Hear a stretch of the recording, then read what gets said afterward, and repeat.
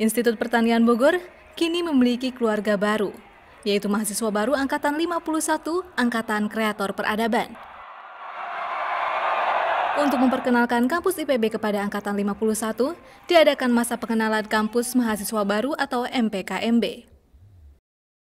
MPKMB dilaksanakan dari tanggal 26 hingga 28 Agustus 2014, dengan pusat kegiatan berlangsung di Gedung Graha Widya Wisuda.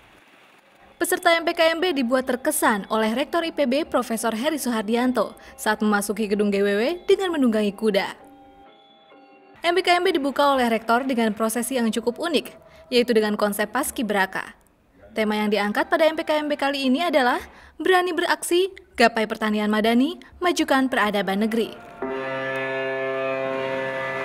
Jadilah para mahasiswa yang dibanggakan oleh alma mater, jadilah mahasiswa istimewa yang mencapai prestasi dalam berbagai bidang dan uh, upayakan agar menghindarkan diri dari pelanggaran uh, terhadap ketentuan akademik maupun pelanggaran dalam kehidupan sehari-hari bermasyarakat, berbangsa dan bernegara.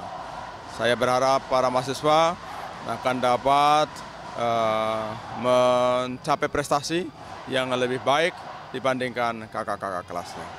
Selamat atas diterimanya para mahasiswa baru program sarjana angkatan 51 yang diterima tahun 2014 ini di kampus rakyat, di kampus pertanian, Eh, terbaik di dunia pada peringkat 151 sampai 200 menurut US World University Ranking by Subject. Peserta MPKMB dibagi atas empat distrik atau kelompok besar, yaitu distrik maritim atau kelautan, agraris atau pertanian, silvika atau kehutanan, dan pastura atau peternakan.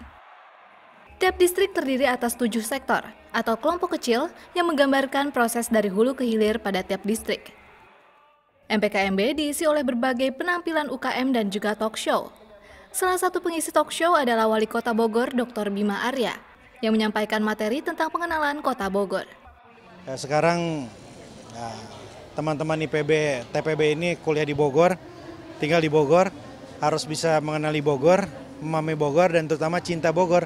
Karena selama kuliah ini pasti akan berada dalam dinamika kota Bogor dengan segala pernak-perniknya dan yang kedua, eh, saya tadi cerita bagaimana rencana-rencana besar ke depan dan saya berharap agar teman-teman IPB ini juga bisa menjadi bagian dari perjalanan perkembangan Kota Bogor ke depan.